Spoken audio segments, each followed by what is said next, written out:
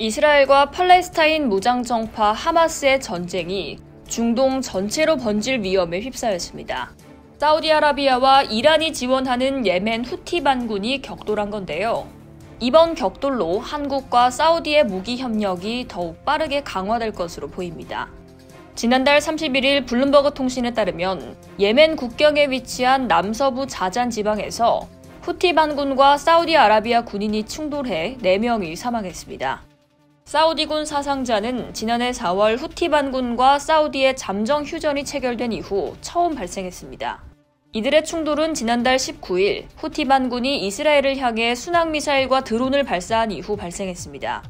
당시 미국 국방부는 홍해의 USS 카니 구축함이 이를 요격했다고 밝혔는데요.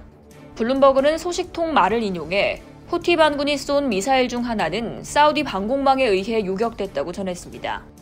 사우디가 미사일을 요격한 이유는 후티 반군이 이스라엘을 향해 발사한 미사일이 사우디 상공을 지나갔기 때문으로 보입니다. 후티 반군은 이에 격분해 지상전을 펼쳤고 이 과정에서 사우디 군인 4명이 사망한 것으로 전해집니다. 사우디는 현재 최고 경계태세에 들어간 상태입니다.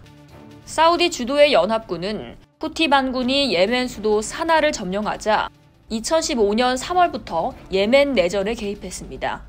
후티 반군과 사우디의 격돌은 이후 8년간 이어졌습니다. 특히 사우디는 산유시설과 중요 에너지 시설이 후티 반군이 쏜 미사일과 드론의 공격을 받아 큰 피해를 입기도 했습니다. 이후 사우디는 대공방어 시스템에 큰 관심을 보였고 지난 6월엔 사우디군 총참모부 등 대표단이 우리 공군의 미사일 방어 사령부와 예하 천공부대를 방문하기도 했습니다. 올 4월엔 사우디군이 천무를 도입해 운용 중인 사실이 사우디 국방부 측의 영상 공개로 확인되기도 했습니다. 외신에 따르면 사우디 측은 지난해 3월 천무 제작사 한화 에어로스페이스와 30억 리알 규모의 방산 계약을 체결한 것으로 알려져 있습니다. K-136 다연장 로켓에서 사용하던 130mm 구룡 로켓도 천무에서 쏠 수 있습니다. 천궁의 추가 수출도 기대가 모아지는데요. 윤석열 대통령과 무함마드 빈 살만 사우디 왕세자 겸 총리는 지난달 24일 사우디 리야드에서 국방 방산 협력 확대 내용을 담은 공동 성명을 채택했습니다. 최근 사우디는 국방 부문 지출을 크게 늘리고 있습니다. 국방기술진흥연구소가 펴낸 2022 세계 방산시장 연감에 따르면 2021년 중동의 국방비 지출은 약 1,860억 달러로 전 세계의 국방비 지출 중 8.8%를 차지했습니다. 또 2012에서 16년 대비 2017년에서 21년 무기 거래가 증가한 지역은 유럽과 중동뿐이었습니다. 특히 향후 10년간 사우디의 무기 체계 획득 규모는 1,400억 달러 수준으로 점쳐지는데요.